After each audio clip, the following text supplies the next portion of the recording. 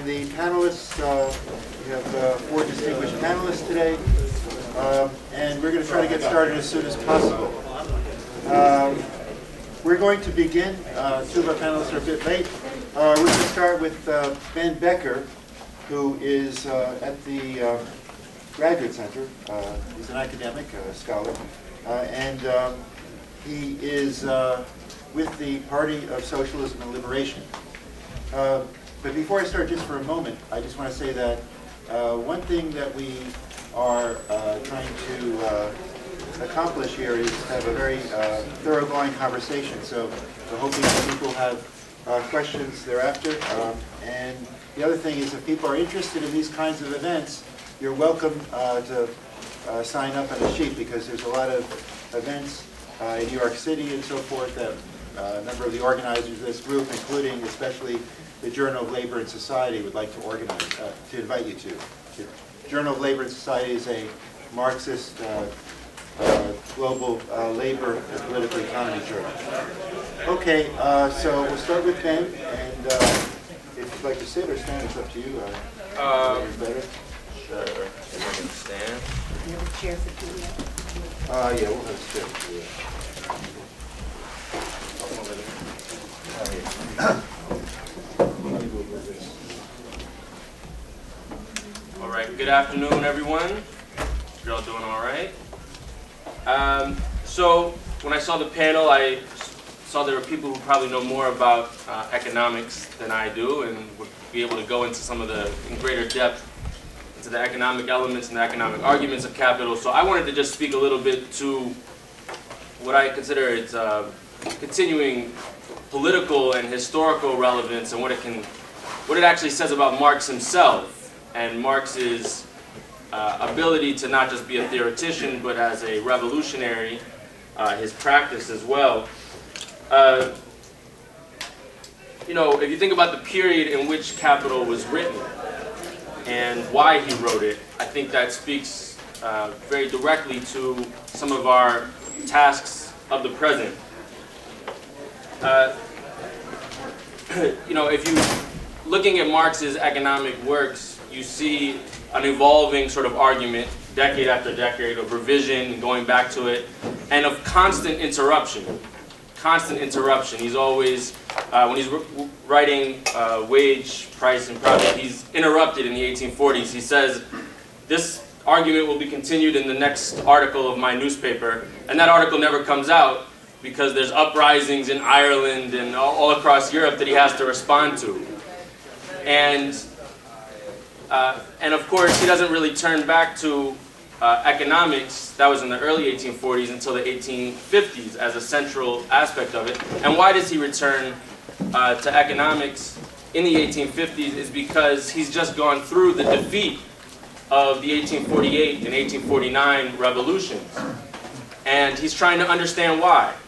And he's trying to understand how is it that we could have been so optimistic and confident that the working class and the oppressed were going to overthrow this system. And instead of succeeding, all the revolutions have been broken up. A period of reaction has set in. A period of counter-revolution has set in uh, in the 1850s. And he wants to understand what was the economic laws of motion. How is it that capital was able to survive?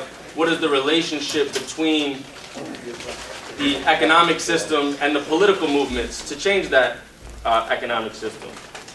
Uh, so uh, he again turns back to economics, and then again, of course, he's interrupted in the 1860s. And the uh, when, when Capital comes out in 1865, he's also just uh, helped in the founding of the First International.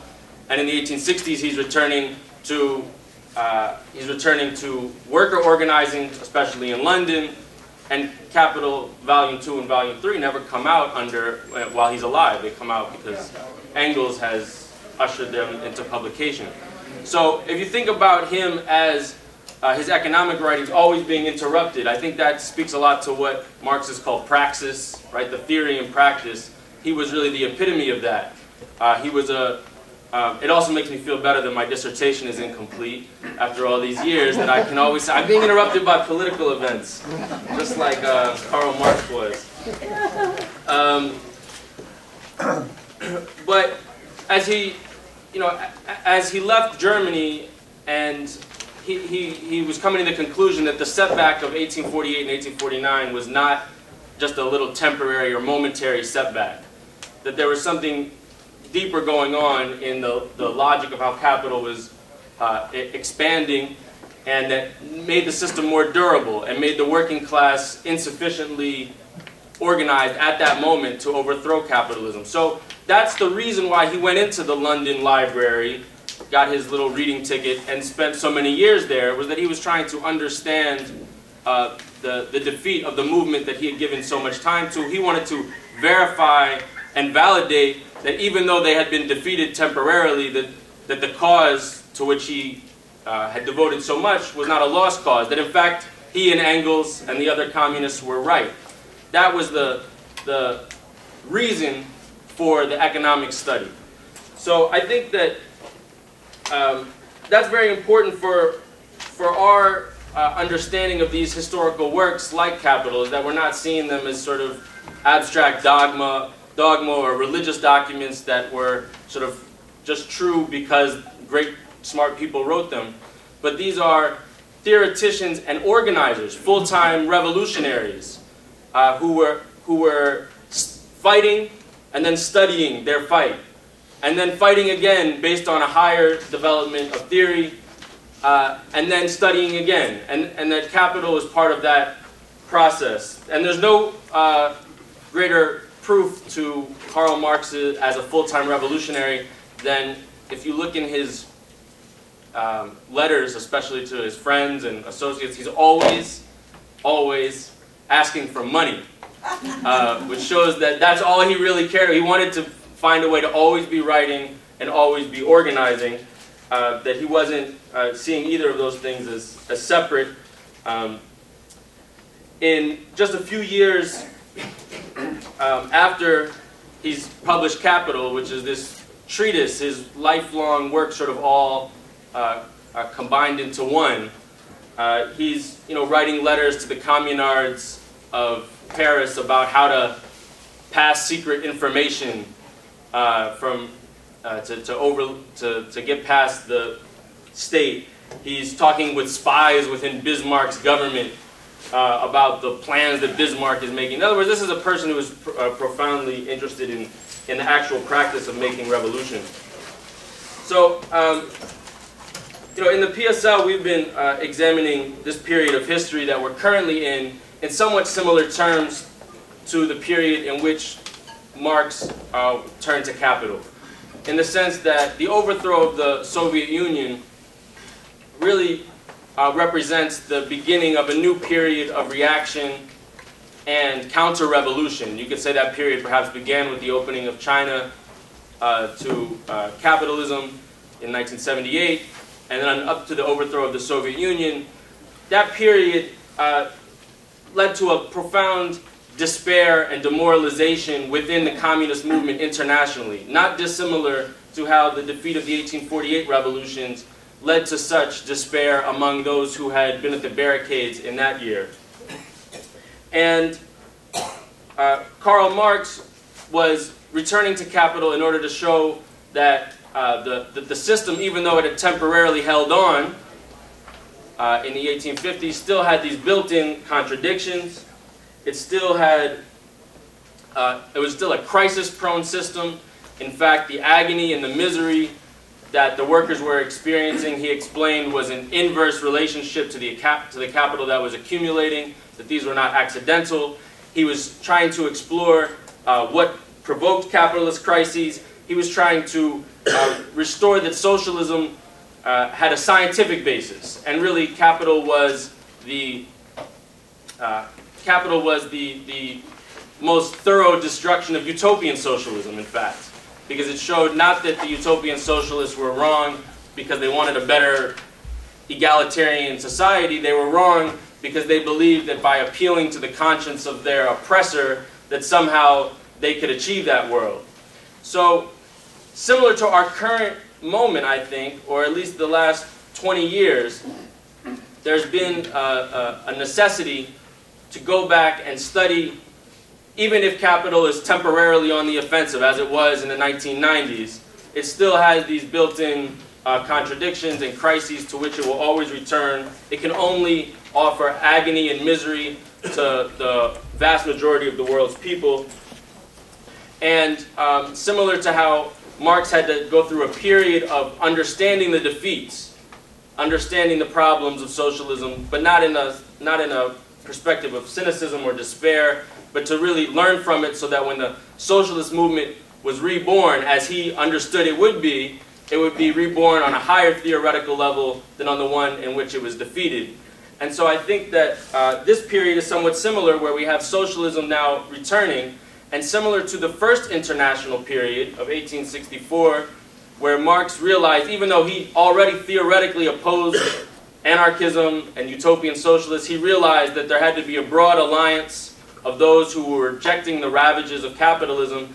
And he said, we will fight it out within our first international about the supremacy of scientific socialism compared to these other currents. Now, uh, in this period, uh, the revolutionary Marxism also has to be revived through that same spirit of both openness to united fronts and also openness to polemic and, and debate. You could say from the period of when Capital was written, perhaps up until the overthrow of the Soviet Union, it was inevitable that any workers' movement or liberation movement that was progressive would almost automatically turn to the precepts of scientific socialism because there was historical continuity from the first international, the second international, the third international, all those other internationals. Uh, there was, there was, um, there was continuity in the sense that if you wanted to change the world, it was understood you were going to turn towards uh, Marxist concept. There were Marxist bookstores everywhere. There were mass Marxist parties in so many countries, practically every country. Capital was a bestseller, not just among theoreticians and intellectuals, but among workers who started to come into economic, uh, started to organize. They wanted to study capital. But the defeat of the Soviet Union um, led to a rejection of a lot of scientific socialism, as we know, and uh, in, in, a, in, in a profound sense, ruptured that historical continuity.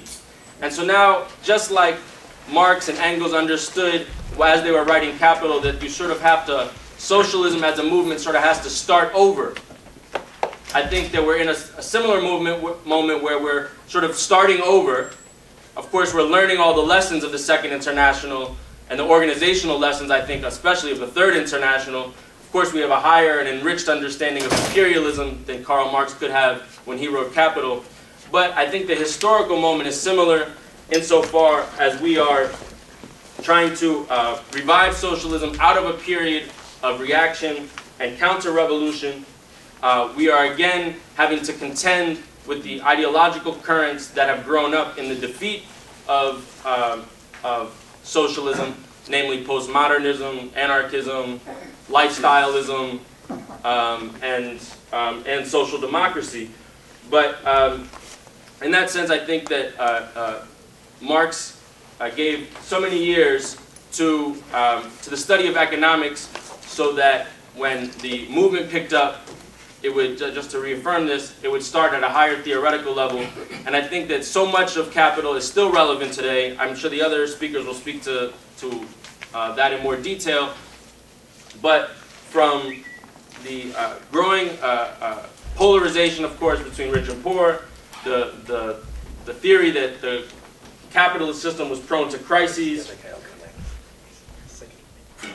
And um, uh, his, his, obviously all his discoveries about surplus value. If you go through so many things for many workers today who are dealing with instability, precariousness, uh, uh, poverty, oppression, depression, suppression, repression, all of that is inside of capital as well, as he's talking about capital as a uh, organic uh, as, a, as a social organism, not just talking about it as a, a set of economic theories, but the way in which uh, capital came about as a system. Um, to, to, paraphrase Eric Hobsbawm when he spoke about the Communist Manifesto on its 150th anniversary, in a, in a lot of ways capital is more relevant today than in the time in which it was uh, written. So I think there's a lot there for us to return to. And I think uh, politically, uh, especially, there's a lot we can still learn from Marx during this period which is to approach theory and to approach uh, our intellectual exercises from the standpoint of praxis, um, how we can help the movement uh, uh, start on a higher theoretical level, on a more scientific understanding of that beast that we are fighting. That's always why Marx wrote, that's always why he studied. He wanted to know thy enemy, and, uh, and I think that Capital is still the uh, central textbook for that. Thank you.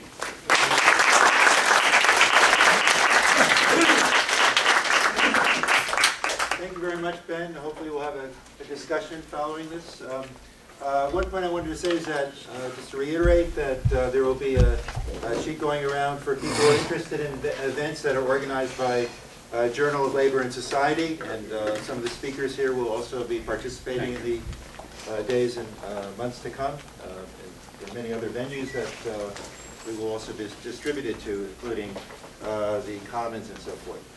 Uh, The next speaker um, is uh, Juliet Ucelli. Um, She is a uh, longtime expert in capital. Uh, She's a member, or founding member of the Brecht Forum originally, I believe, as I recall, uh, which I also sat on the board with, so I'm very humbled that you were able to come. And uh, she's also an expert in capital. And so I would like to uh, give the floor to Juliet Ucelli. The next uh, speaker, um, every speaker will have about 12 minutes or so. So uh, if you'd like, you could stand or sit. Can you tell me when it's six minutes? It's supposed to be 12 minutes, right? Through the Yeah. signal? Hi, everybody. Um, I know it's hot in here. We can't do anything about that, huh? Okay. Can you stand slightly to your left? There you go. Okay. We worked in the public school system. We never like it when the classroom's hot. Yeah, I know, it's It's not too loud, I'll open the door. It's good for the buses. Um, so just out of curiosity, how many people in here have studied capital? Well, how many people have taught it? Great, okay.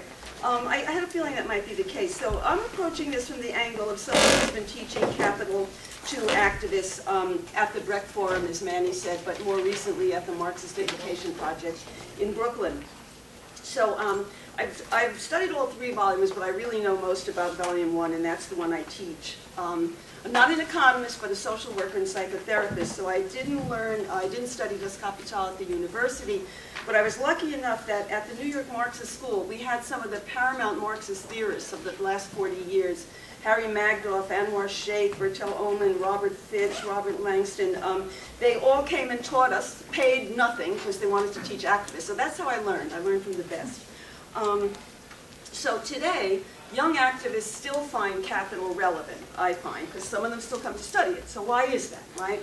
Um, well, the first reason is that it, it gives a grasp of what makes capitalism tick, its laws of motion, as Marx said, um, and it answers a lot of questions, like why does there have to be unemployment in capitalism? Well, because capitalism needs this industrial reserve army, because if it didn't have one, then when there was a high demand for labor, the price of labor could get too high, and that could hinder accumulation.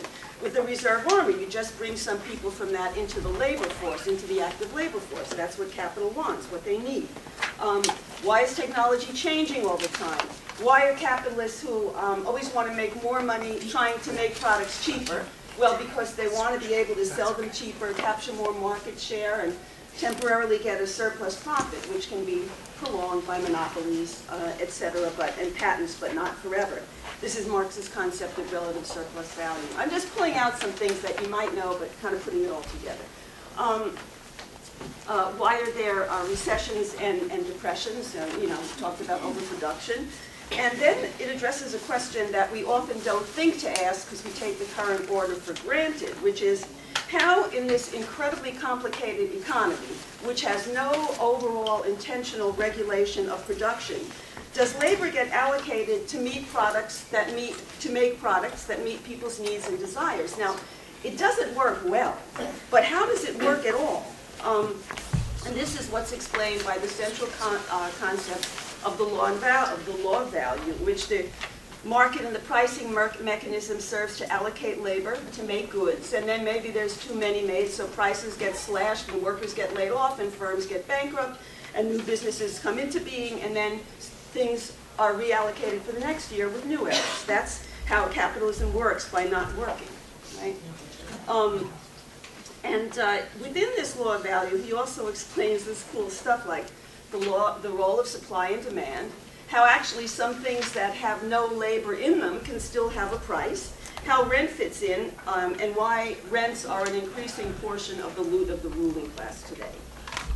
Um, and um, so, so that's, and, and also, um, some sections are really prescient in pointing out uh, problems and potential solutions um, and program that, that have only come to broad awareness in the last 50 years. And I'm thinking particularly of what amounts to a real ecological call to arms um, in the last um, section of chapter 15, uh, which is called Modern Industry and Agriculture. And I'm just quoting a little because it's really uh, cool. Um, capitalism prevents the return to the soil of its constituent elements consumed by man in the form of food and clothing. Hence, it hinders the operation of the eternal natural condition for the lasting fertility of the soil. By destroying the circumstances surrounding that metabolism, which originated in a merely natural and spontaneous fashion, it compels the systematic restoration of this metabolism as a regulative law of social production and in a form adequate to the full development of the human race. Note that for Marx, um, so saving the earth is always intertwined with giving human beings fulfilled lives. Um, and, and of course, this is the basis from which uh, John Bellamy Foster draws out and elaborates the concept of ecological rift as the basis for Marxist ecological praxis. Um, so um, a second reason, I know that was only one really, is that how it explains all these cool things. Uh, the second reason why um, people find capital still relevant has to do with the breadth of the spheres of life and struggle that it illuminates. In no way can capital be contained within the boundaries of the bourgeois disciplines of political economy or anything else. For example, Volume 1 contains a political history of the struggle to limit the workday to 10 hours, how the workers' movement took advantage of a conflict of interest between the parasitic classes, the landlords and the capitalists, to win legislation in Parliament. It's, it's a very nuanced and pragmatic approach that appreciates the role of honest petty bourgeois reformers like the factory inspectors, that illuminates the questions of tactical and strategic alliances. And there's a great quote at the end of that uh, chapter, which I'm going to paraphrase, paraphrase, where Marx says, the workers had to come, had to put their heads together as a class to erect a law, an all-powerful social barrier that would prevent the individual members of that class from voluntarily selling themselves to capital too cheaply. So it really has in this one sentence all the contradictions that we face and deal with in pressuring the bourgeois state apparatus to, um, to enshrine certain kinds of gains for workers and to regulate.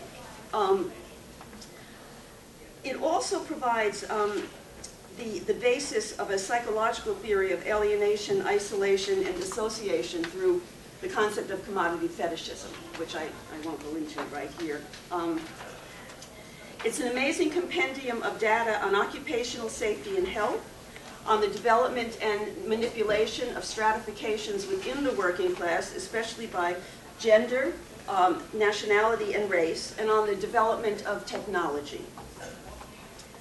Um, a third reason why it remains relevant is that some of the sections are so beautifully written. I mean, they're really great literature. The dramatic imagery around blood-sucking vampires and the poetic language about how the production process distorts and cripples the worker. Um, it's been noted, um, it, it's why, in my way, I consider it um, a profoundly spiritual work in a certain sense, actually. It's been noted how well the translators for the first English edition, Samuel Moore and Edward Aveling, rendered Marx's words into English without losing the poetry. More recently, it's come to light that the major credit for the translation should actually go to the person who, second only to Engels, was Marx's closest collaborator and confidant in the second half of his life, and that was his daughter Eleanor. Eleanor's husband um, was Edward Aveling, her common law husband, who was a real scumbag, but she loved him, and uh, he was a, you know, it happens, right? Um, he, was, he was a wannabe playwright and essayist, so she wanted to give him some credit. But actually, a lot of the beauty of the translation is due to Eleanor Marx. Um, so the last thing I would say about um, capital remaining relevant is that in order for that to happen, um, we who teach it have to help make it accessible to others. Um, lately, I've been teaching mostly uh, highlights of Capital Volume 1 in 10 sessions. Now, the reason for this is that um, young activists um, are dealing with uh, having to work several jobs to make a living in New York City, which Marx would call the de facto lengthening of the working day, which we fought to limit. It's lengthened by having to have multiple jobs. And also, they're dealing with rising urban rents.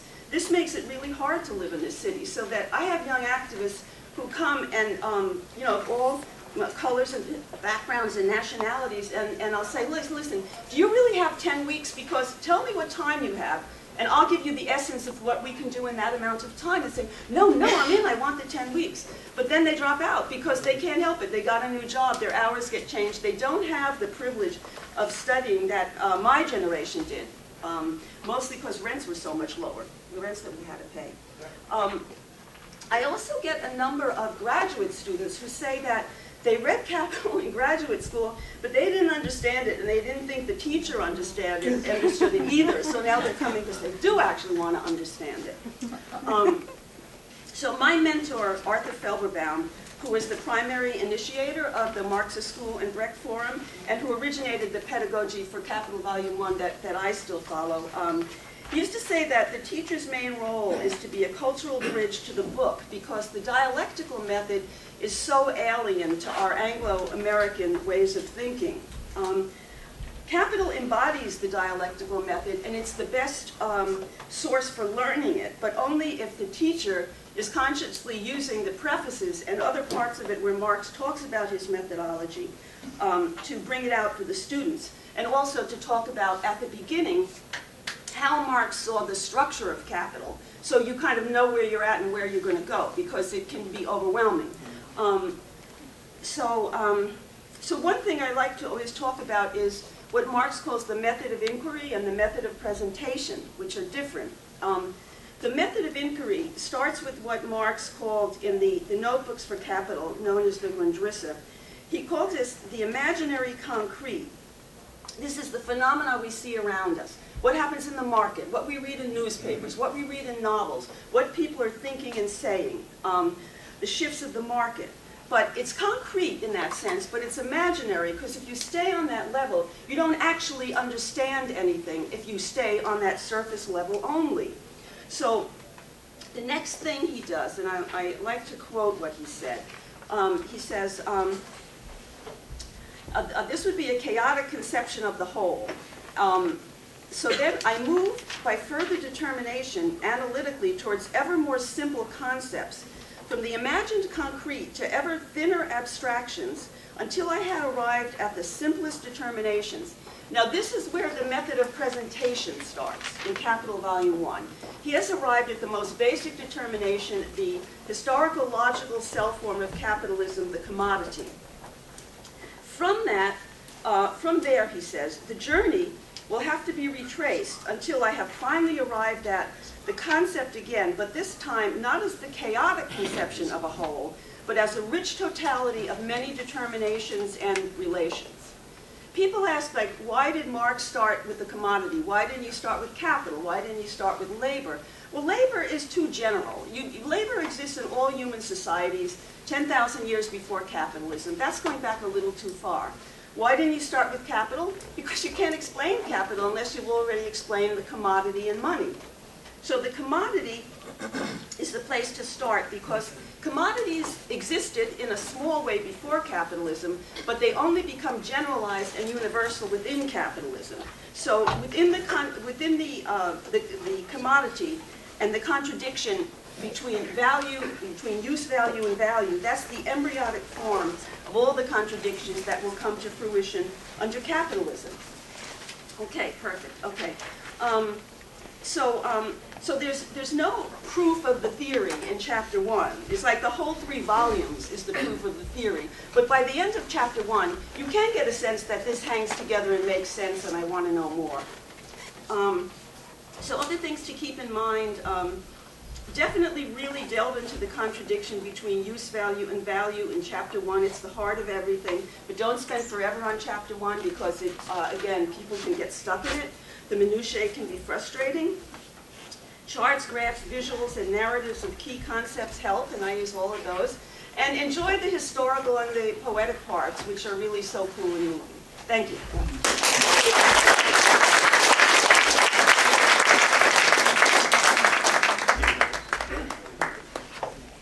I'm going to talk from here. Uh, For those who... Michael Hudson from University of, uh, of Missouri, Kansas City, author of J for Junk Economics.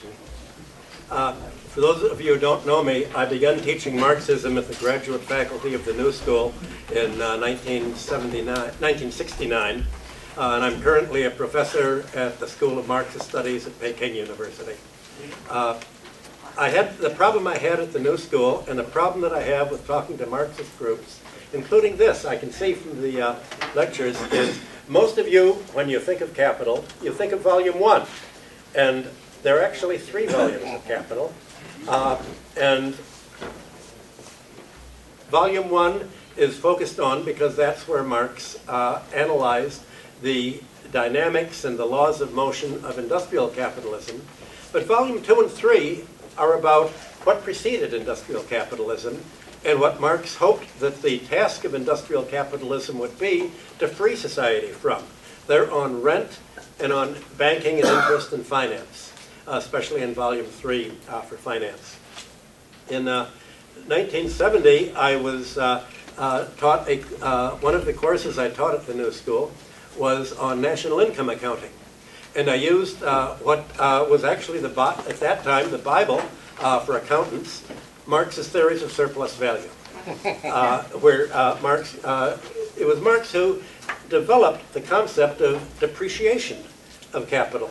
In his critique of the physiocrats in Quesnay, uh, the circular flow that you had within the French economy between landlords, the government, and consumption, he didn't have any statistic for keep restoring the seed grain from year to year, the seed grain that you needed in order to plant the next crop. Marx used this as an example of capital. He, he divided the return of capital into two parts.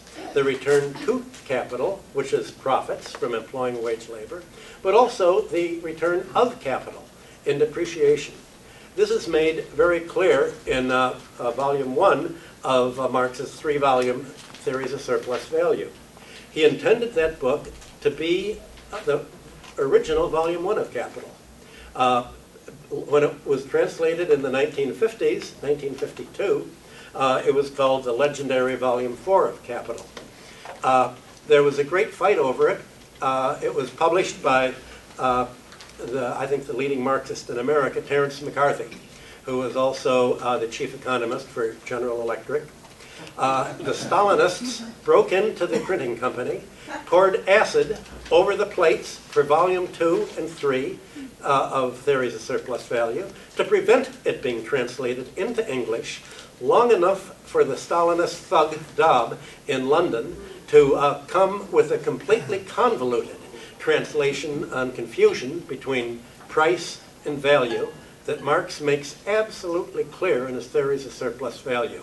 Uh, in that book, Marx described how his ideas emerged naturally from the classical economics of the physiocrats, Adam Smith, John Stuart Mill, and what uh, made people so upset about Marx that he said that capitalism itself was revolutionary. And it was revolutionary in clearing away the landlord class, even in Ricardo you have that, clearing away the banking class as it stood, and restructuring banking uh, so that instead of being predatory and based on uh, usury and uh, rip-off, uh, and it would actually fund uh, industry. Uh, he believed that, especially in volume three of Capital, and also in volume three of Surplus Value, he wrote the capital and surplus value together. And I can guarantee you, you will understand capital much better if you read it in conjunction with his theories of surplus value. Uh, he looked at the uh, industrial capitalism's banking of the future as being German banking. Uh, and German banks were very different from English and American banks. Uh, they, uh, the banks would actually act as, with the government, uh, the German government, uh, and with industry, especially heavy industry, to make a long-term plan uh, of uh, development of capital, and the banks, unlike the English and American banks, would take a stock ownership as well as the uh, uh, is a uh, just a debt uh, uh, complaint, a debt uh, ripoff. By the time World War II, World War I broke out in 1914, uh, the British, main British magazine, the Economic Journal, wrote a series of articles uh, worrying that uh, England and the Allies were going to lose the war because they were so uh, far behind uh, British banking. There was a, a book, a, a book uh, published uh, in Germany uh, called uh, Mittel Europa, saying that Middle Europe, Germany, Czechoslovakia, Hungary, Central Europe, was emerging as the center of industrial capitalism, and where British stockbrokers would simply put investors into the stocks and look for a quick ripoff and then get out. And uh, British stock investors and banks would push for a very fast dividend payout. Uh, the German banks would say, don't pay out the dividends, uh, reinvest it in capital. We have to increase uh, employment to build up a uh, German uh, labor force. And by the time World War I broke out, in every country, this seemed to be the future of capitalism. The future of capitalism was expected to be led by the most advanced uh, in, uh, Western nations. Germany, maybe Austria, uh, possibly England uh, la- uh, lagging on. But uh, we all know what happened. America went into the wrong side of the war. On England's side, Germany lost, and the world has followed the Anglo-American financial system and the Anglo-American economic system. But even more than that, uh, you had, uh, after World War I, a fighting back by the real estate interests, by the banking interests, by the rentier interests, the very classes that Marx thought that industrial capitalism was going to get rid of. So uh, in volume one of Capital, he talks about the faux frais of production, the false costs of production, the needless costs of production that are simply paid to the rent extractors, to the landlords, uh, to the banks. He said under a, uh, uh, the, uh, the reason that a socialist economy is going to uh, emerge victorious is it's more efficient, it's more productive, and the productive forces of the industrial capitalist nations are still burdened down by the legacy of feudalism, by the landlord class, and by the, uh, by the banking class that has turned predatory. Uh, to such a point that today you have uh, the American uh, banks and stock brokers, the actual management of industrial firms in America has been financialized to the point that 92% of corporate earnings are spent either on stock buybacks solely to increase the price of stock or on higher dividend payouts.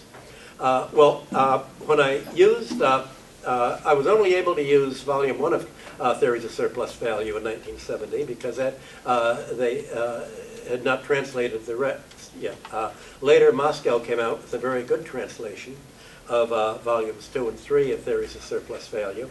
Uh, but at that time, uh, the department head, Bob Heilbroner, a Stalinist, uh, was uh, furious with me. Uh, he said, this course is, you know, you're a Wall Street thug. It's true, I was Chase Manhattan's balance of payments economist and uh, uh, balance of payments analyst for Arthur Andersen. Uh, we never discussed politics there. I grew up knowing, I think, just about every socialist leader in the United States, members of the Third International when Lenin was in power. And uh, when we were talking about reading capital, when I was like nine or ten years old, we'd go to their houses. I'd always look at uh, the bookcase, and my eyes would always be drawn to the books that I recognized. The Charles Kerr edition, the red edition of the three volumes of Capital. Uh, I, I noticed pretty quickly that nobody had ever opened these volumes. that, uh, uh, especially volumes two and three. You could tell from the spine. Nobody read them. Everybody, it's true that uh, they were bestsellers. It's true that workers and other people bought uh, Capital. Did they read it? Uh, that uh, I, I begin to suspect they didn't. And uh, in the 1960s, when I used to stop at Strand Bookstore and other stores, and they'd always have a section with uh, Marx's uh, Capital and others, I'd usually take a look through, I wonder if anyone's read them. Always the same, always in pristine mint condition, uh, as they were when they were first published. So the reason I'm mentioning this is in volume two and three, Marx explains the forces that have ended up, that he expected capitalism to cure, but they've ended up dominating capitalism. Uh, in 19, uh, in World War I, everybody expected socialism and communism to be led by Germany. Uh, Luxemburg, Karl Liebknecht, uh, I remember in English class, I had to go to a high school where Mein Kampf was uh, our textbook, and uh, the professor had a sign over his office, uh, give them all what the Rosenbergs got. Uh, I thought he meant socialist, but he explained he meant Jews. This was the University of Chicago Lab School. Uh, they refused to uh, let me give a, we had to memorize something, and I memorized uh, Karl Liebknecht's late May Day speech. They did not give me a passing mark. They said that was not literature, uh, and it was not suitable for an English course. So I'm just giving an example. Uh, the advantage of going to a right-wing school, I think everybody should go to an irrationally authoritarian school, because uh, the uh, social science professor, Mr. Hedgett, uh, kept calling me uh, a commie. And fortunately, there was a Stalinist in the class, and he kept calling me a fascist. And out of that, I recruited how much? Uh, the, uh, became the leadership of the uh, Young People Socialist League, the Trotskyists.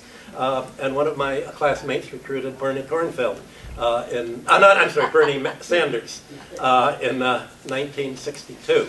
Uh, right after I'd uh, left Chicago. So uh, somehow the, the very attempt to fight against Marxism created a, a very good milieu for people to actually study Marx. The, I've always had no problem at all expressing Marxist ideas on Wall Street. Everybody at Chase knew that I was a Marxist. As a matter of fact, all the leading economists in the 1960s in Wall Street were Marxists. Uh, I, um, if you've heard my lectures before, I remember at one point, uh, I think it was 1966, they had uh, the leading economists of uh, Lazard Frères, uh, another company, myself. We used to meet once uh, a month at uh. And at around 9.30 in the evening, we all began discussing uh, a, a pro, uh, the current financial situation, uh, how it, in, terms of volume three of Capital. And we broke out laughing. Imagine if the other people knew that uh, all, all of us were Marxists analyzing capital. And wh- why, do they, why did Wall Street hire Marxists? We know what it's about. We know it's about exploitation. If you go to a business school and you think it's all in equilibrium, you don't get the system. So uh, business school graduates have not become good uh, managers uh, of capitalism.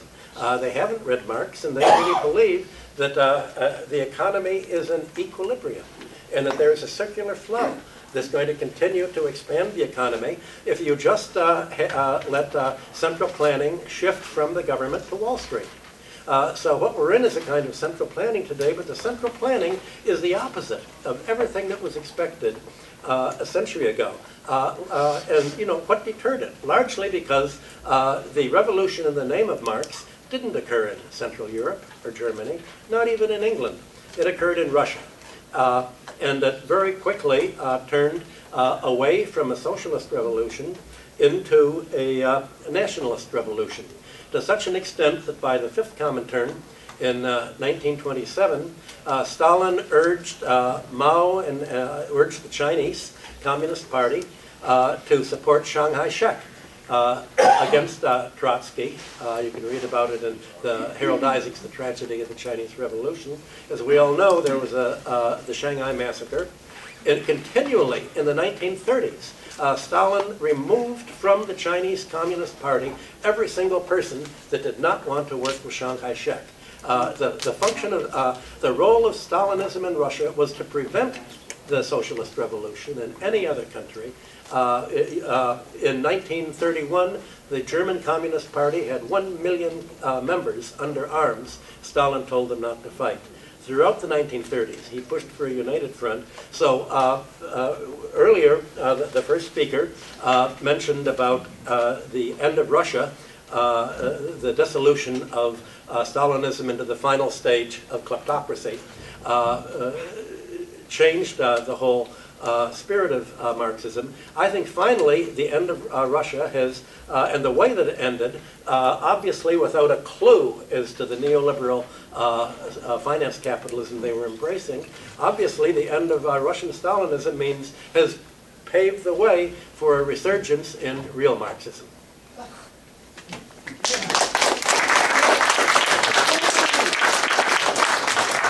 Oh, shit. I'd just like to remind people that this panel is the continuing relevance of Marx's Capital at 100, after 150, uh, after 150 years, and so hopefully that will be the focus. Uh, I give you now um, Abhinav Sinha, who has come all the way from India, and we're very lucky to have him, as along with the other guests. Uh, he is the editor of a workers' magazine called Mazdoor Bigul, as well as a Marxist intellectual journal, which is now out in its first edition. I believe you can still get it out here, uh, called The Anvil. So I'll give you uh, Abhinav Sinha.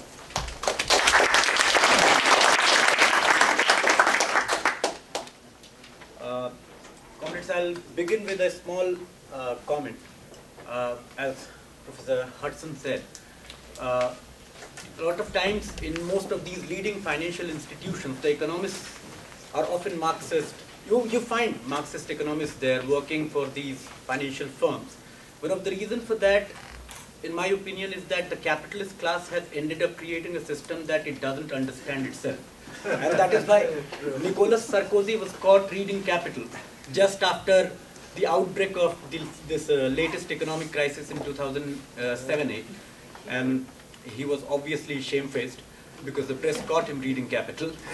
so the reason for that is this, they need to understand what they have created and they have no analytical tool to understand it. And that's why these financial firms are very much willing to hire Marxist economists. Now, I don't call them Marxist, I rather call, call them uh, Marxologists.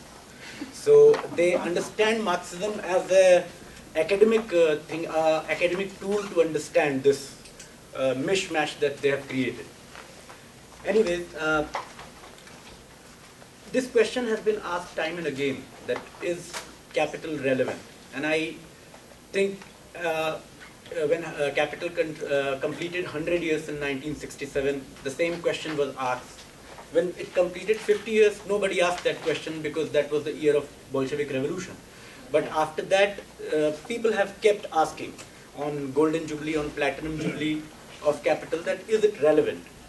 And I guess uh, there is a, just like periodic capitalist crisis, there is a periodicity in the rise of interest in capital.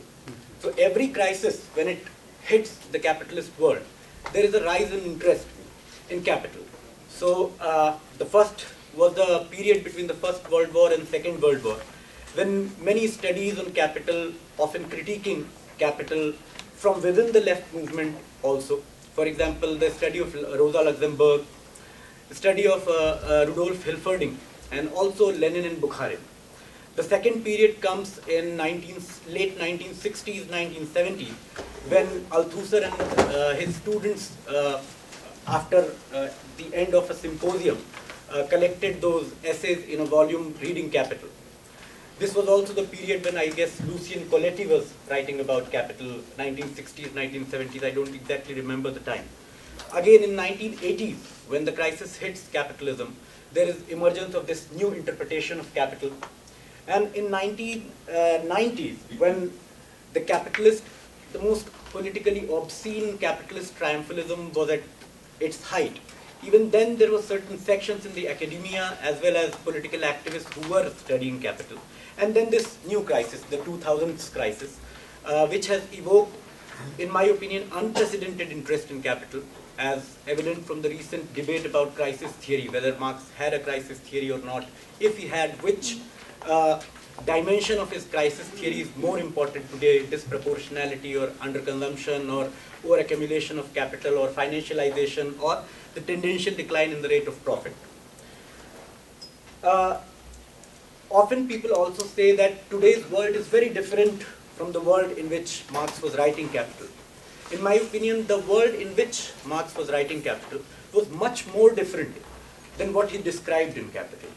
Because in that period, capitalist mode of production covered uh, a very small portion, geographically and demographically, of the world. It was concentrated in the northwestern Europe and in embryonic form in certain Central European countries. So if that is the yardstick, uh, we should say that Marx, uh, Marx's prognostications about the development of capitalism have, proved, have been proven correct by history. I mean, we are living in a world, uh, Marx is much more a thinker of 21st century as compared to late 19th century. there has been a, a, publication of this recent biography of Jonathan Sperber. It's a very good, well, very well documented uh, biography. But he says that Marx basically was a 19th century thinker. His involvements with different questions, his habits, his writing style, his dealing with the uh, you know, question of tendential decline in the rate of profit, which according to Sperber is obsolete because Marx was living in the period in, in which uh, there were no no technologies which can increase the rate of surplus value, the counter, one of the major countervailing factors of the declining rate of profit. So there was no such technology which could increase rate of surplus in such proportions. So uh, I can just say uh, that uh, uh Marxism has often been understood as, an, as a simple aggregation of whatever Marx said or whatever Marx wrote. It's not a simple aggregation of whatever Marx said. It's the distillation of a, an approach and method, a methodology from whatever Marx wrote right since the Communist Manifesto. And often Marx contradicted himself. People say that his prognostications about the ultimate collapse of capitalism, I mean capitalism has overlived the expectations of Marx.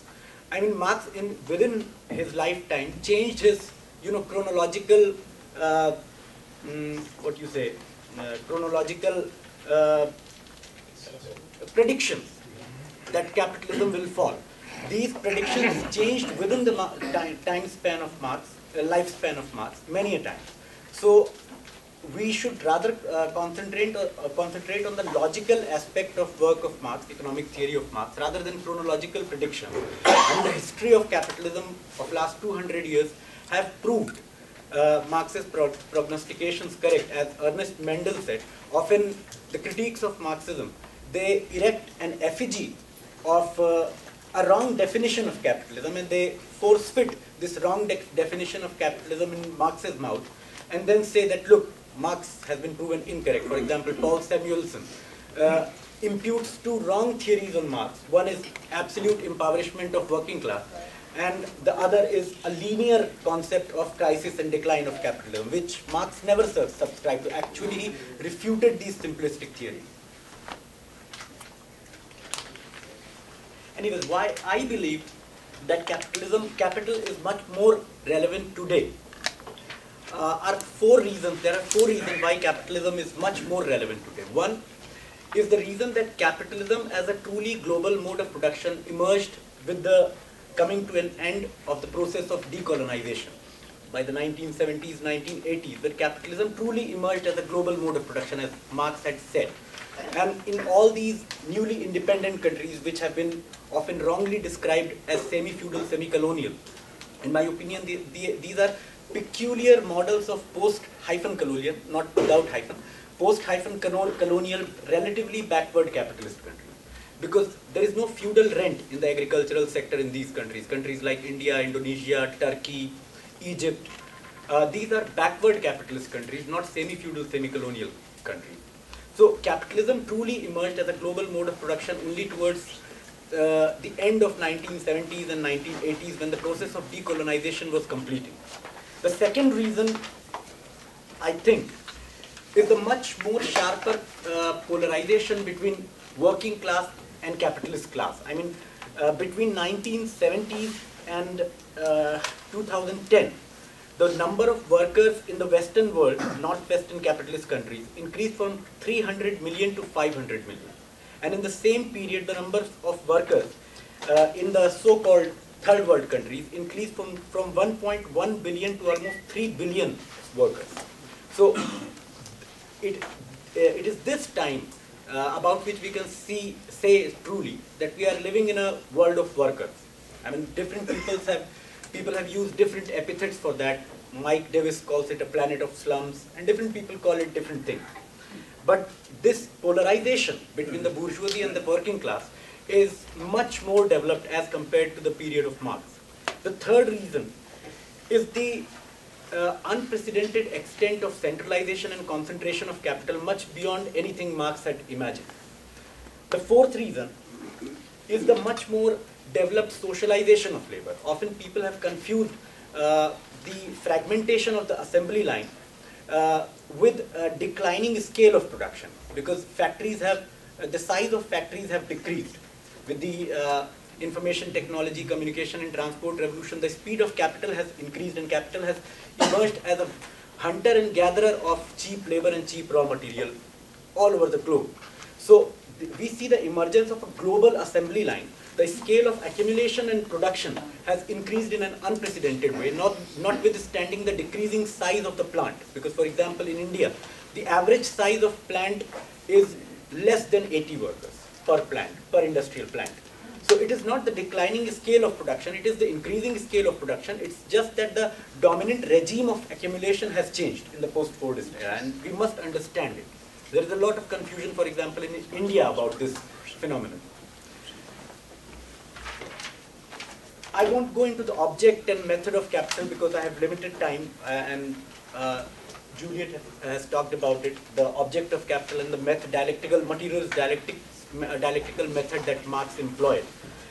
I would uh, directly come uh, to a brief discussion of early critics of capital because I think it's very important to understand what the early critics of capital said because what the latest critics of capital are saying is nothing new. For example, David Laibman is resuscitating the old transformation problem which was put forward by Bortkiewicz in the early 20th century. It's nothing new. It's based on a simple confusion. And Fred Moseley has put forward a brilliant critique of uh, transformation pro problem. And as uh, I don't agree with everything what Andrew Kliman and uh, you know Guglielmo Carchedi say, but uh, Kliman has said a very good thing that Marx, uh, uh, economists have changed Marx in various ways. The point, however, is to understand it, interpret it correctly.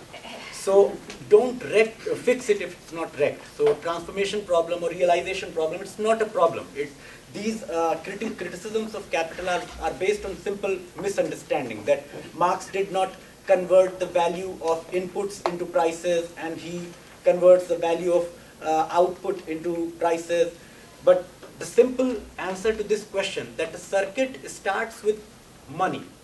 It starts with money capital, doesn't start with uh, some impersonal form of labor values, labor time. It starts, I mean, the capitalists start by buying means of production at the market price and buying the labor power at the market price, paying wages. So there is no need to convert or transform the values of input into prices. So uh, the one of another critique, uh, one of the another one of an, uh, major critique of capital, Böhm-Bawerk, which can be called the father of the mar marginalist school, anachronistically though. But he, he uh, criticized Marx for borrowing he, what he thought he borrowed the dialectical method from Hegel, which led to unnecessary metaphysical, you know, mysticization of simple issues. Piero Pierre Sraffa, he says that we can start with prices. There is no need to go to values. There is no need for capital volume 1.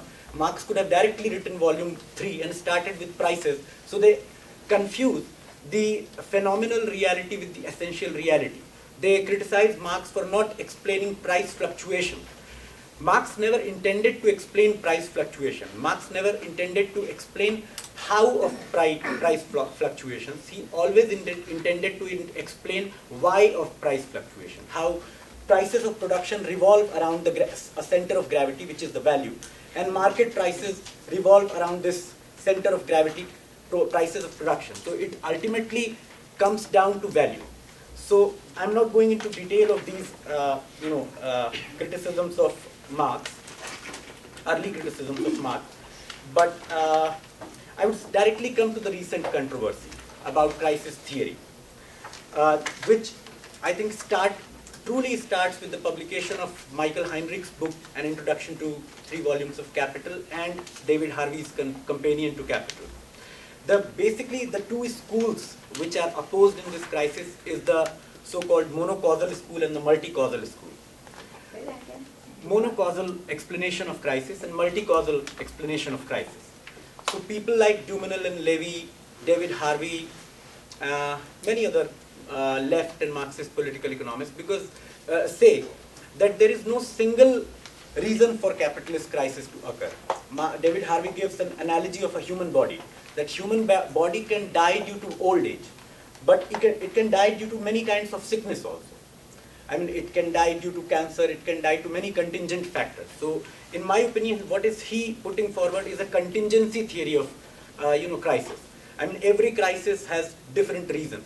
Duménil and Levy believe that it's neoliberalism, financialization, over financialization.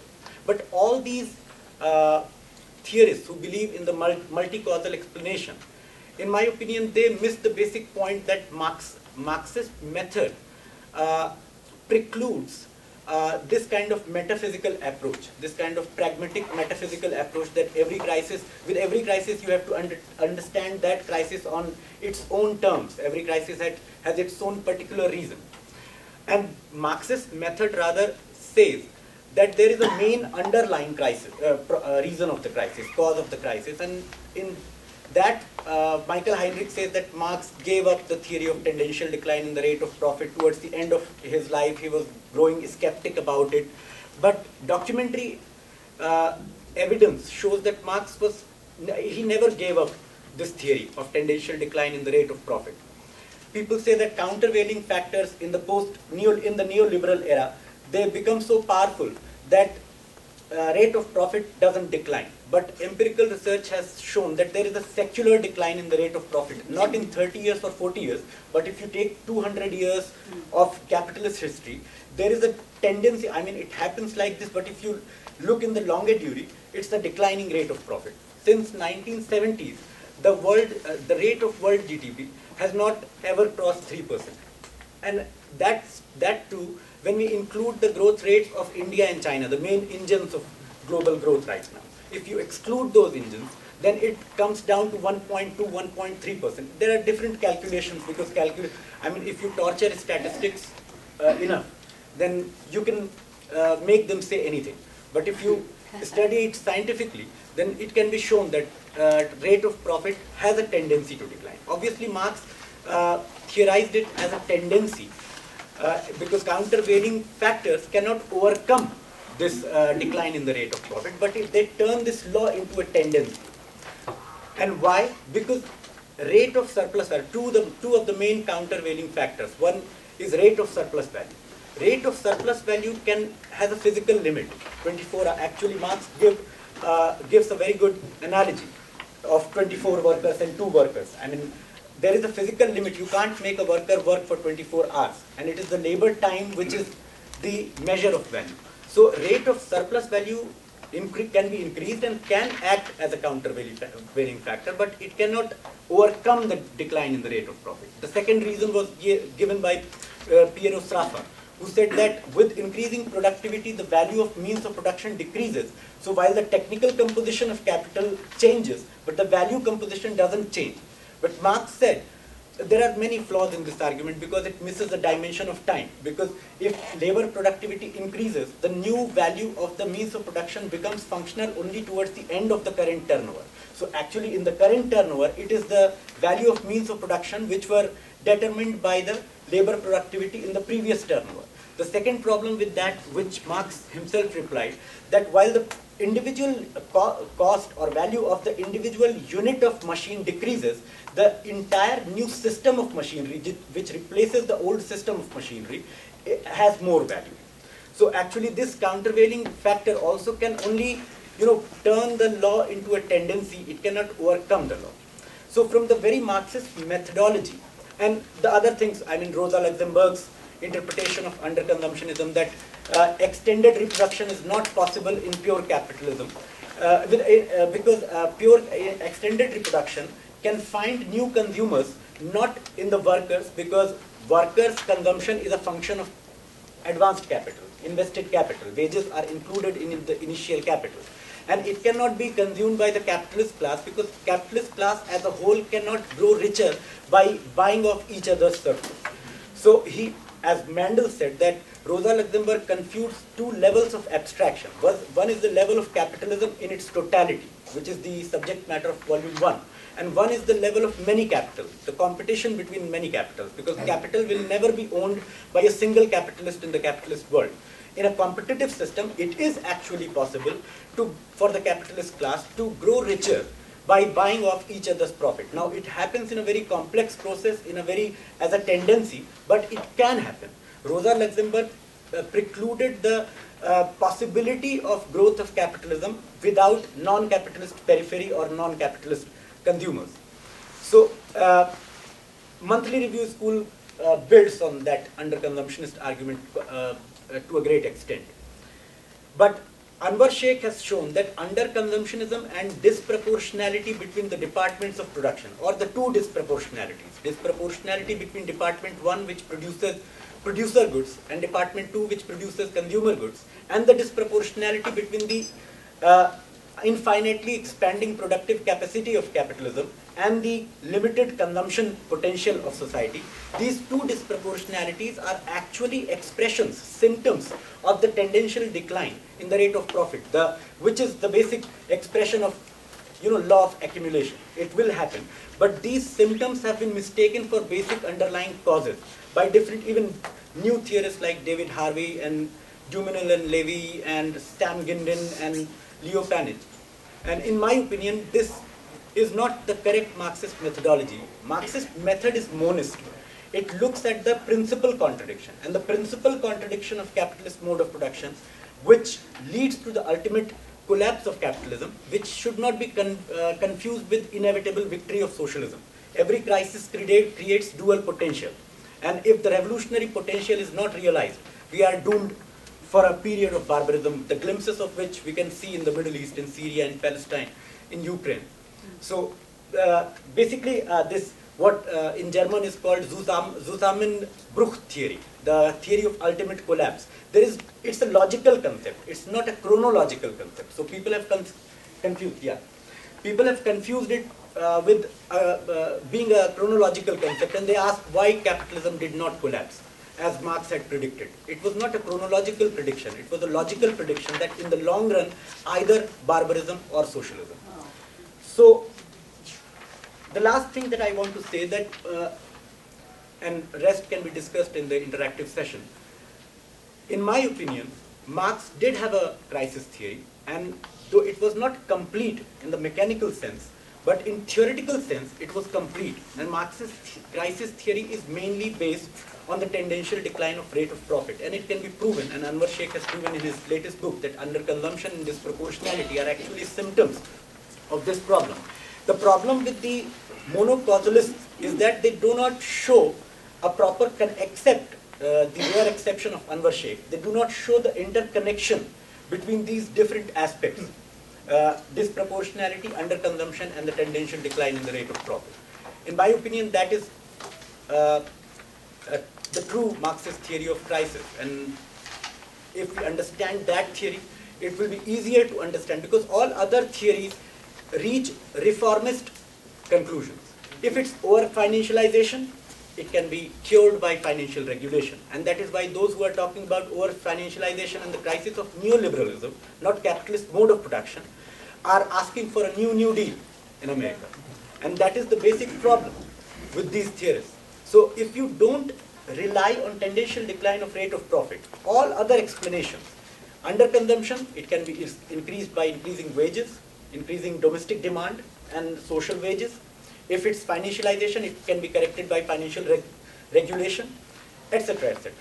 So uh, this is very important to understand the revolutionary uh, character of this theory, this crisis theory. Otherwise, we will reach some kind of Keynesian or neo-Keynesian conclusion. Thank you. Wow.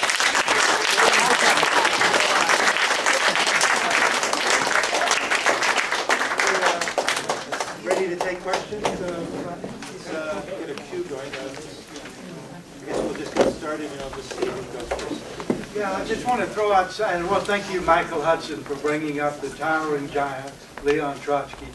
He, get- he's going to get bigger and bigger once again. Yes. I work in, my question to you is about Keynes. I work in a law firm where I proofread huge hedge fund documents that are incomprehensibly bizarre. The parasitism of the finance capitalist is overwhelming.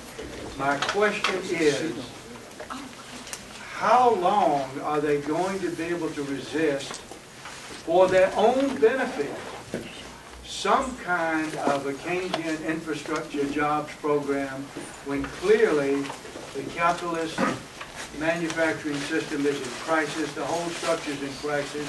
They flirt with the Keynesian jobs program, but they're too cowardly to even carry one out.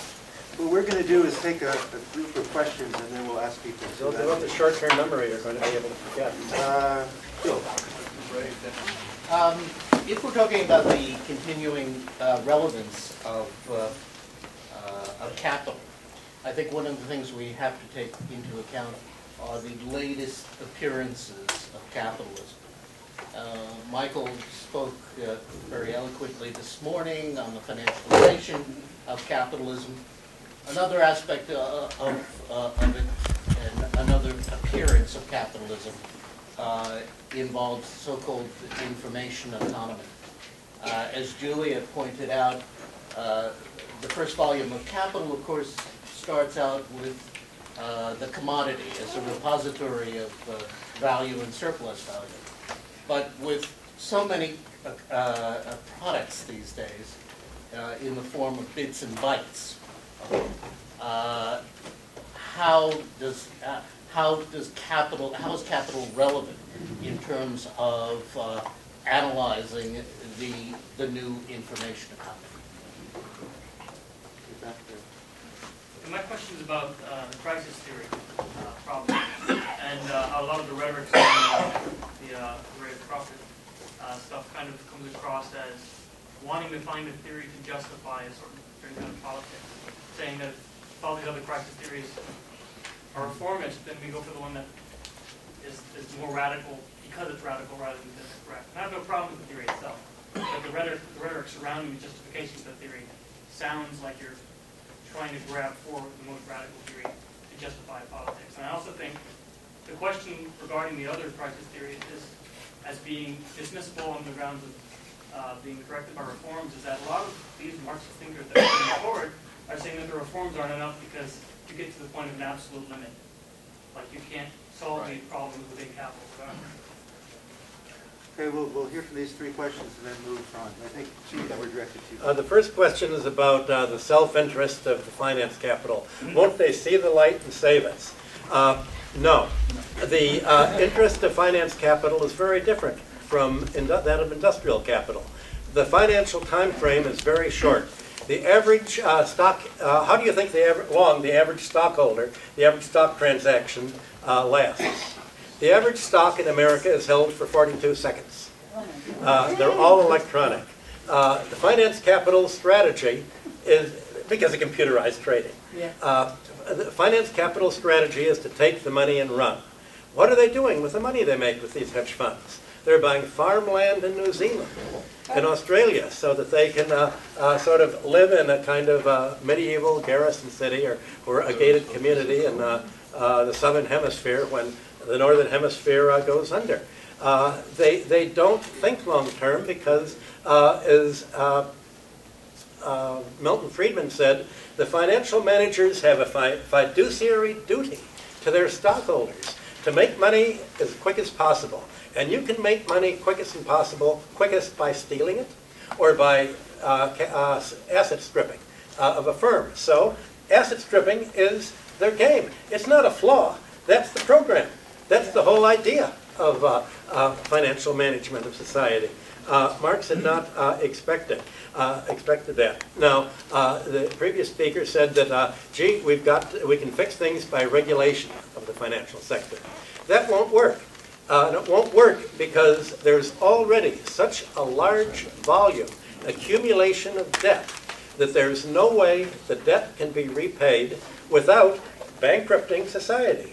without preventing workers from buying uh, what they produce, without uh, uh, uh, uh, blocking corporations from reinvesting their earnings in new capital formation. The volume, finance capitalism has painted itself into a corner. Uh, Marx did not expect this. Marx's discussion of crises reflected what was actually occurring in the 19th century. The advantage of a crisis was to wipe out finance capital, to wipe out the debt in a convulsion of bankruptcy. That's what Marx talked about, but you're not having that. Uh, uh, President Obama didn't let any convulsion of bankruptcy. He said, I'd rather, I'm going to bankrupt the people who voted for me. I'm going to, uh, I'm going to bankrupt uh, uh, the African Americans, the Hispanics, and the working class. I'm, I'm going to make sure 10 million of them lose their homes so that my constituency, the Wall Street banks, will not have to lose a single penny. And one penny of their profit is worth any amount, an infinite amount of uh, capital. That's the perspective of finance capital. Anybody else want to comment on the first two questions? I think the third might have been directed to you. Abhinav? On crisis theory. Yeah, but uh, I would also want, uh, I would also like to comment on this, uh, what Professor Hudson just said. There is a tendency to pit finance capital against industrial capital, as if finance capital is the evil and industrial capital is the saint. But in my opinion, the overproduction which is which occurs in the sphere of production, neoliberalism and financialization is a device to overcome that crisis. So to see these two uh, things metaphysically in an isolated fashion and put uh, more emphasis on this factor of industrial capital, if we invest more in the productive sphere, then the crisis can be resolved. I mean, it started from that. Investment in the productive sector, over-accumulation, overproduction, and then resolving this crisis. And it's not only in volume 2 and 3. Marx in volume 1, towards the end of volume 1 itself, says that the trifurcation of surplus value into profit, rent, and interest, there will be a tendency moving towards these, the latter two uh, things, rent and interest. It's not only in Capital Volume 2 and 3. He alludes to this fact in Volume 1 itself. So there is also a tendency to pit volume 1 against volume 3, which has been done by Joan Robinson among the non-Marxist economists in the US. Uh, so uh, it is very essential to understand, for example, when crisis hit, hit uh, capitalist world, many reformist economists praised the particular kind of stimulus package that China introduced. China uh, introduced a stimulus package in the agrarian sector also, apart from the industrial and financial sector, to increase the domestic demand. And that is the peculiarity of the particular model of capitalism that we see in China, controlled, a very strong control over the labor uh, class and production system. The second thing is about information economy. Some, uh, this comrade asked about it. And how do we uh, see the relevance of capital in, capital in understanding that. I mean, if we see capital not as volume 1, 2 and 3, but a continuing project and unfinished project, we should include Grundrisse and theories of surplus value in that. And in Grundrisse, he talks about general intellect. And that notion of general intellect can be used to understand the present, you know, what due to a misinterpretation of theory of general intellect, intellect Negri has called immaterial labor. I mean, it's not, I, and Callinicos has given a good criticism of this misreading of Marx, uh, this theory of general intellect. But these things are also products and commodities. And those things do, that do not have use values cannot, can become commodity. For example, land by privatization. So when information is privatized, it assumes a price. And that's how we can understand from a Marxist perspective the age of bits and bytes, products as bits and bytes. We cannot go, it's a very complicated topic and still Marxist political economists are working on this and I'm, I, I, I myself in, uh, uh, am in the process of understanding that. Whatever, uh, whatever I, was, I have understood as yet is this that we understand the commodification of information, privatization of information is the key to understand from a Marxist political economy perspective.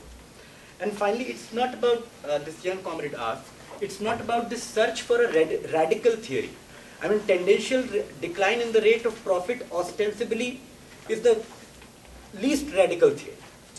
You know, the most radical, immediately, apparently radical thing seems opposing neoliberalism or financialization, the oligopoly of banks, the oligopoly of finance capital. Uh, If you, if we are uh, in search of some radical rhetoric to resurrect the working class movement, the most favored theories are over financialization and underconsumption. The least favored theory from this perspective is tendential decline because it is the most scientific explanation of, but you have to understand it logically and historically. Logical and historical, these two dimensions in the works of Marx cannot be separated, they are intertwined and, you know, uh, totally linked. So it's not uh, the search of a radical rhetoric, it's a search for the most logical and scientific explanation of capitalist crisis that have led, in my opinion, more rational Marxist political economists towards uh, favoring this theory of tendential decline. I just, I just want to add a little bit to what Aguinaldo said about the information economy, which I totally agree with. Um, you know, we know that, and Bill has probably heard me say this before, I'm sorry, but have it. But, um, labor is the expenditure of, of human nerve, brain, and muscle on matter with a definite aim and purpose. Um, uh, com- computer programs and, um, I'm thinking of the words, platforms and all those things that are sent along in bits of electrons are the product of human labor and they are matter. Um, now, as to how money is made on them, going off the private property thing, which is, to me, I, I understand it sort of, a, that's oversimplistic, as a concept of uh, technological rent. Of, um, a rent is a disproportionate return that you can get by denying someone access to something that they need. If people need to be on uh, this uh, Windows frame, uh, this platform to do their work, then basically you're charging a rent to, to, for, for them to have access, even though the actual labor and means of production that were expended in creating that platform have long ago been paid for, and it doesn't cost a lot to blip or electrons, but you're able to charge a rent because you can deny access to it, because people need it for all forms of production. There's no other questions, or did you want to come? We'll wait next round. Uh, yes, Ben, Benjamin. Um, I just started reading Capital not too long ago, so I have like kind of a, a technical issue that I'm not really understanding. But do you want to speak up? We can't hear you. Oh, my fault. Um, in the latter half of Capital Volume One, I think Marx did say that his point was to not have a theory of prices. And he was obviously a proponent of Ricardo and Adam Smith's labor theory of value. But I, uh, I'm from Baruch, so I learned like the mainstream economic theory of value, which is the marginal utility value. So I, I've been wrestling with these two, deciding which one to pick. I know which one you guys are pick. But um, so I went to my neoclassical professor, he's from Harvard, and I wanted to ask him like support the supply and demand theory. And he said, in the classic um, neoclassical um, or just classical model, you have infinite, almost like an infinite number of um, consumers, infinite number of sellers. So you have an equilibrium price and an equilibrium prop, um, quantity. And he told me that, well, honestly, the neoclassical professors are kind of stumped because we don't know why there's like this specific point. We know that supply and demand can influence prices, like increase the price, decrease the price. This is something Marx talked about in the la- the latter half of Capital. But he had no idea. He even told me, he even reached out an old textbook that he read where the guy is literally saying, I don't know, it's a judge, someone that just judges what this price does, natural prices. And then it clicked to me that maybe Marx's theory of value was correct because labor is the one that determines the natural price and the natural um, quantity. And just, I guess the neoclassical rejected it or didn't look at it. And I was wondering if this is correct in my little uh, assumption. Because then I have to factor in, well, what about the price of the overhead of the factory or the new machines? Because people might value, or this might get into use values of a Mustang versus a Camaro, even though they're kind of the same price, one might be technically more valuable than the other, given you know different technologies. Even though the socially necessary labor time to create both those cars are exactly the same. So you can kind of tell why I have this dilemma going on between the marginal utility value and the labor theory of value that Sraffa and Ricardo have been supporting for a very long time. Uh, Other questions? That's my Okay, mouthful, I'm sorry. I just needed to get that. Okay, and also, I kind of want to piggyback on what you were saying. We're talking about the declining rate of profit, and a lot of that is due to market, and also sort of what you're saying, markets are not infinite. There's finite, you know, there's such a thing as market saturation, and capitalism tends to overdevelop one sector while underdeveloping other sectors. And so in order to restore itself, I mean, you could do all Keynesian and all of that you want, but ultimately, it needs this, you know, and you'd also promote consumption, consumption's not bottomless, and, and after a while, I mean, what are we consuming? There's an environmental cost to that too, which also creates its own economic dilemmas, because as you use up resources, for one thing, you can't use them for another thing. So usually capital, besides a, um, the Keynesian model, I mean, they tend to just blow shit up. You know, if you can't expand anywhere, you, you just bomb stuff and start over again. That was the whole basis of World War II, you know, that's the Marshall Plan. So that's one of the reasons why we go to barbarism. Okay, other, any other questions, comments? Okay, back to the room. Uh, I was just wondering what other books um, Robbie or any of the other um, panelists might recommend on understanding uh, or reading contemporary commentary on uh, falling rate of profit. Um, I, I'm sort of a fan of Murray Smith's book, Invisible Leviathan, and uh, Shane Mage's thesis, but I, I think that um, maybe I'm seeing it from the opposite end of uh, one of the other questioners, like I, I don't think that it uh, is a search for the most radical interpretation of capital, but rather that, that understanding that concept of capital um, poses the question that things are not insoluble with the most radical or revolutionary solution, that there isn't a way for um, capitalism to be reformed. The system can't be fixed because this is exactly what the system is, and I think of the uh, FDR quote that was mentioned in uh, the previous um, uh, form that, you know, that he saved capitalism, that that was his great achievement, so. Okay, maybe we start with Ben, because Ben heard the, maybe wants- Well, you know, I'm a, I study history, so I'm not going to weigh into the tendential rate of profit to decline and so forth. But um, you know, I do think the, the, the question about information technology, uh, we're speaking about the modern relevance of capital, um, you know, I'm I'm an organizer. We have a um, office called the Justice Center in El Barrio up in East Harlem, and we it's mostly immigrant community, a working class community, and it's incredible the amount of you know people's income which is being spent on essentially renting things that are already produced. And you know, obviously, the there was it was mentioned the just what housing is in New York City, um, and uh, how that puts a strain on every aspect of, of people's lives. But then when you just look through your bank statement at the end of the month, and you go through your Netflix account, you're being charged for every iTunes song, for every app, and you know all these, even the um, your your phone bill, which you know you're really being charged for uh, rent because all the, the telecommunication wires have long been laid. Um, Verizon and these other companies control usually just the last little piece of the, the, the circuitry, but it's already there. I mean, of course, there is maintenance, and you have to upgrade apps and things like that, and you have to put new content onto Netflix, and there's always human beings who are doing those things. But uh, essentially, I mean, the, the, the price of those things would be so negligible, and in fact, could be just state subsidized and free. Um, and, and I think that you know when we're talking about how to, to take what can be somewhat inaccessible historical works, at least the first three chapters for a lot of people, which is where most people stop reading, um, uh, capital is you know to I think uh, maybe we can skip forward to some of these other uh, chapters on on rent, on land, um, and also I think looking at bringing out people's own bank statements, so to speak. We, you know they can redact the, the things that they like to redact, but the ways in which capital is really um, uh, uh, you know, uh, historically outlived its usefulness, it becomes clear to so many uh, working class people when you go through uh, these aspects of, of, where their, their money is really going. So I do think that that like um, searching for ways that we can always look for, for sort of modern application is, is very important in terms of um, making people feel that they don't need to read. Um, I mean, they, they should read. Everyone should read all 1,300 pages.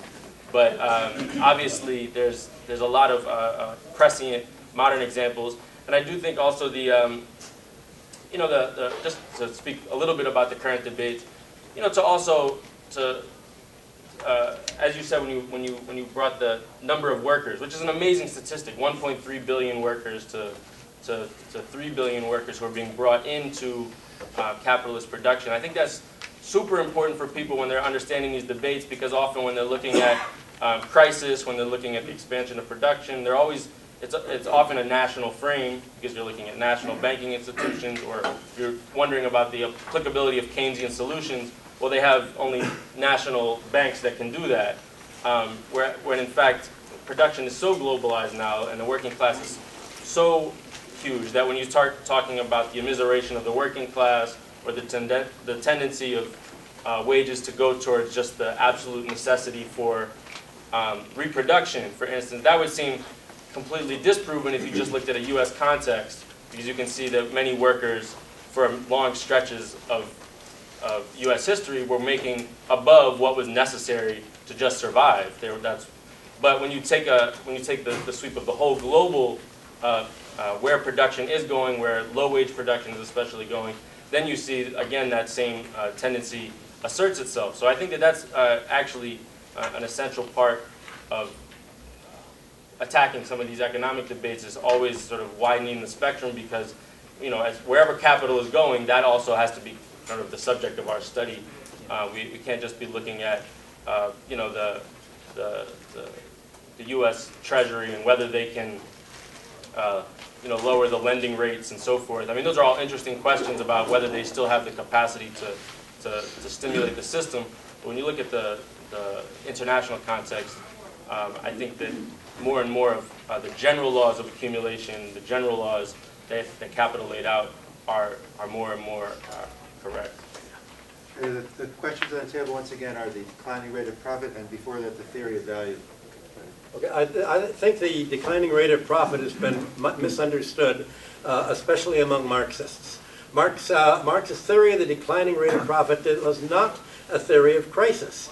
Mar it was very simple. Uh, remember what I talked uh, before about uh, Marx being the uh, accountant who discovered depreciation. Marx said that as production becomes more capital intensive, as the investment in capital, machinery, and plant rises relative to uh, the employment of labor, that more and more of the return to capital will be paid to a return to capital relative to a return of capital. Uh, Böhm-Bawerk uh, and the Austrians, everybody at the time agreed that production was becoming more capital uh, intensive. So uh, it, uh, if you look at the American economy, uh, most capital formation in the national income account is real estate construction. The real estate sector is the largest sector in the American economy. It absorbs 80% of bank loans. Do you know the average rate of profit uh, since 1945? Zero. And the reason it's zero is you can depreciate a building again and every time you sell a building, you can pretend as if you've just made an out-of-pocket investment in the building at, at a higher and higher appraisal cost. Uh, and the declining rate of profit has been used by the real estate sector to avoid paying taxes. Uh, in that sense, you could say it increases uh, the profit rate. So uh, I have a chapter uh, in my book on the bubble and beyond. I have a whole chapter on the falling rate of profit uh, for that. Uh, now, obviously, if we're talking about companies uh, like Microsoft, what passes for profit today, everything is called earnings in the national income account. But er, Marx would say earnings are two things. One, there's profit, but also there's economic rent. Almost all of what passes for earnings is economic rent. And that's why it's important to read uh, Marx's Theories of Surplus Value and Volume 2 uh, of Capital, especially to understand that it's uh, basically economic rent. So now we get back to the first question, price and value. Uh, the neoclassical economists say there's no difference, that uh, the price of anything is the value. Marx said this is nonsense. Uh, price is the excess of economic rent, free lunch, over and above the value of a commodity, which is what it costs in the form of human labor. So value plus rent uh, equals price. Now, that's why uh, uh, the uh, earlier speaker mentioned that uh, capitalists don't understand how capitalism works. Milton Friedman's guideline was there's no such thing as a free lunch. But the economy is all about a free lunch. That's how, that's what people call profit, and most of it's rent. I just wanted to say, where's the person who asked that question? Now I can't see you. Did you? hiding. Oh, you're hiding, okay. All right, Yeah, um, uh, I have only a little bit to add. I'm not a big expert on the technicalities of this, but um, uh, the rent thing you said just confused me a little bit there, but just a couple of things I'll say. Prices revolve around values, which are based on labor. The labor uh, that's valued in a commodity includes uh, the um, uh, prorated costs of the means of production that went into it, which were originally made by labor, right? So you, you know, you can all, you can break down all of it that way. Um, and then, um, as far as whether somebody wants the Camaro or the other car, that's, that's the demand factor, right? It's the value based on the different living labor and the dead labor that went into it, and then there's the factor of demand that's gonna affect the price. Well, I wasn't, I was hinting that, um, like, like both those cars are exactly the same price, right? And I'm assuming that they take the same amount of time to create, like, same Yeah. amount of labor embedded in both those vehicles. But one clearly has to be superior to the other, so it's like, there's different levels in the value, you know. Why does one have to be superior? Like, just take, like, the performance, like zero to sixty numbers, hundred miles per hour. That's a use value question. This is just strictly use value. That, that is. This is why I didn't get confused, Yeah. because then you have use value, then you have the exchange value, then you have the socially necessary. The, the value of it is based on the labor that went into it. How well it performs is a factor that I'm gonna consider if, when I buy it, and it will affect demand. But it doesn't necessarily have to mean that more labor went into it. Mm-hmm. But it affects what I buy. You wanna comment? Okay. Uh, What this uh, young student friend asked, I'll just add a little bit uh, to that. I mean, one, while studying Marxist political economy, we must not dwell too much on categories and definitions. Marxist political economy studies capitalist mode of production, its motion and dynamism. So if you, you have to understand different levels of abstraction. So one is, for example, individual value. One capitalist uses a particular technology, particular kind of labor power, particular level of skill, and he might get that uh, product produced in less labor. So his individual value, individual value of his product will be less. So he will make more profit because he will be able to sell cheaper. But once this uh, technological differential is equalized, then what matters is market value. So one level is individual value, which enables the capitalist to, uh, you know, uh, reap what Marx called surplus profit. So one level is this. Another is socially necessary labor time. Technology is differential is not there. There is an average productivity, and on the basis of that productivity, the uh, market value is decided.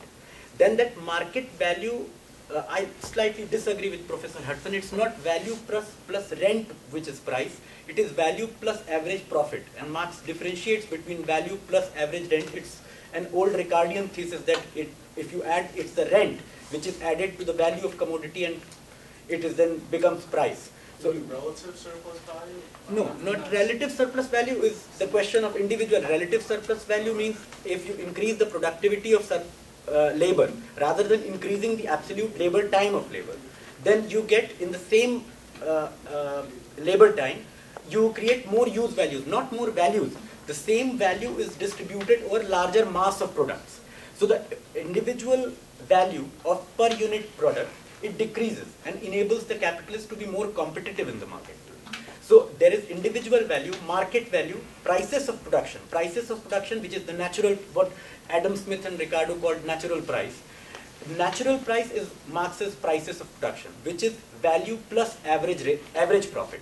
Average profit means which is the averaging of uh, total surplus value due to movement of capital uh, from one branch of industry to different branch of industry because every capitalist would try to invest in the most profitable sector.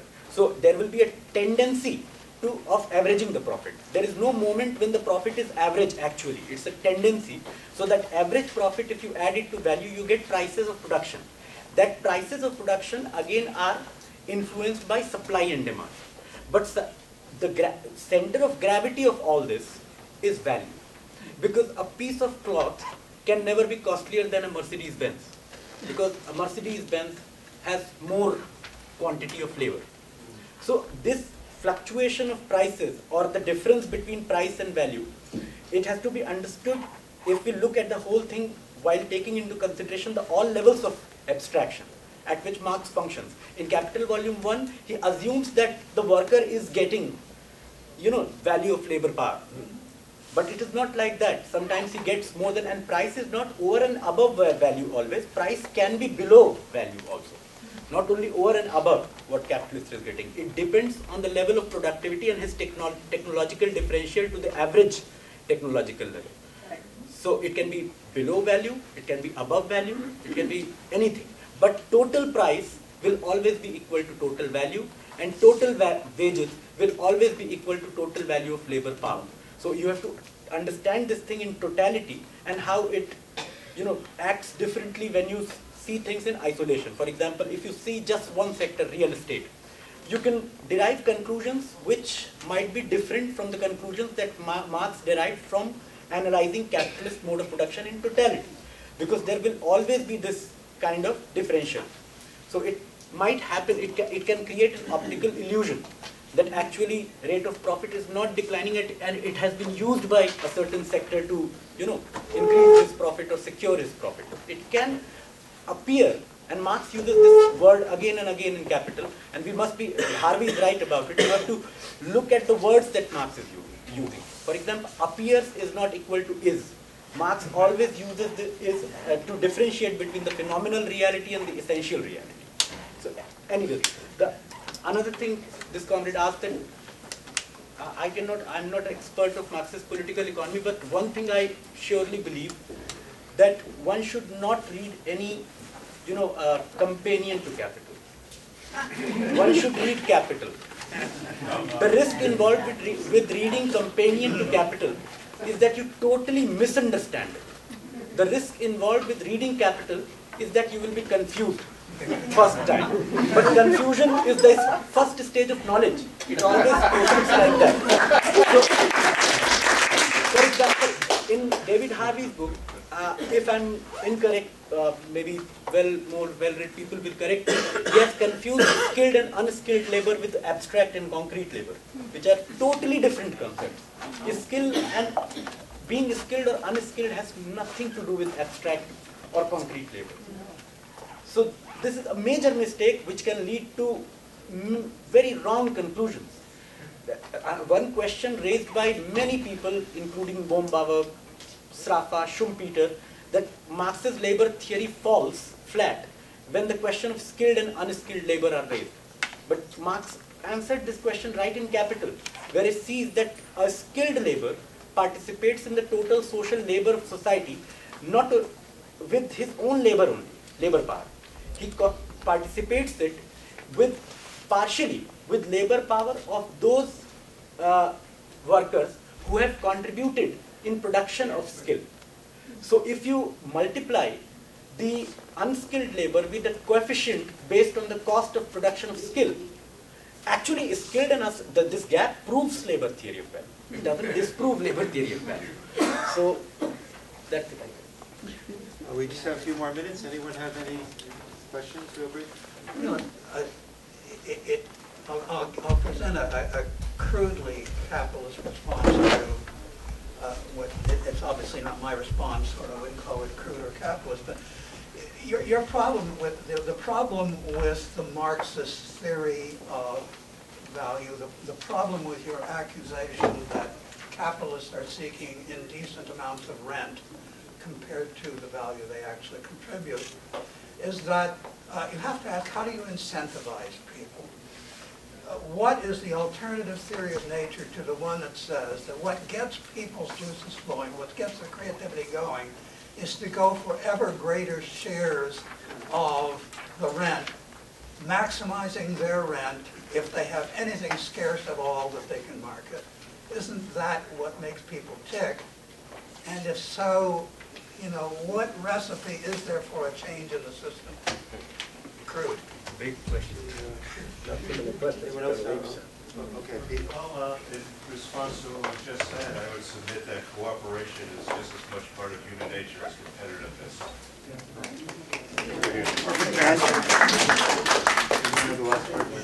Okay. Well, the idea of, uh, the solution is quite simple to rent seeking. You take natural monopolies into the public domain. And since most natural monopolies are basic needs, that's exactly what socialism is supposed to provide freely. It's supposed to take things out of the market. Socialism isn't a theory of the markets, it's a theory of what you take out of the market to provide uh, freely. So that, that's how you deal with the, uh, the the rent question. You nationalize the land, you uh, take the major public utility, education and healthcare system would be uh, provided by the public sector, pensions would be provided, not uh, financialized and made uh, part of the market system that uh, facilitates uh, economic rent. Just real, real briefly before Ben goes, um, we're going to have other events where, uh, I mean, Sinha will be at and perhaps others. If you want to sign up for them, uh, Doug Ferrari's got a sign-up sheet. There's a sign-up sheet floating around.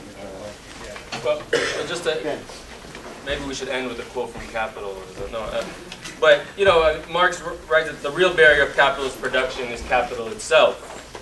It is that capital and its self-expansion appear as the starting and the closing point, the motive and the purpose of production. And you know, I think that that uh, can speak to lots of workers who are not uh, incentivized to go to work because of some great desire to have a larger share of the rent, but only to make ends meet, to make, uh, to, to put food on the table, to pay their rents and so forth. And there's been such an impoverishment of the culture and of society insofar as uh, the whole pursuit of one's life work is uh, just money, and it's just money for the capitalist classes. Also, and the idea of fulfillment at work is a completely alien concept for uh, the vast majority of workers. You can only be fulfilled by leaving production. Um, and so I think that that also speaks to this question of incentives, that there would be just far more incentives than just trying to survive. In fact, our species would be able to survive uh, much more easily without Uh, the constriction of capital.